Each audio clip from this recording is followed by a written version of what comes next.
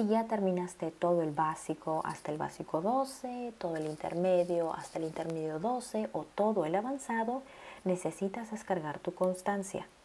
Ingresamos a la intranet, mis clases, constancias y certificados. Después de 48 horas de aprobado el curso, aparecerá tu constancia en PDF.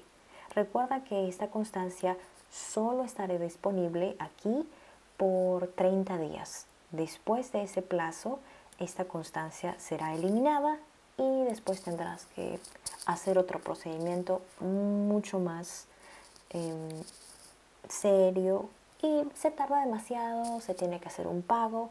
Es preferible descargar tu constancia apenas esté disponible. Recuerda, 48 horas después de aprobado tu curso.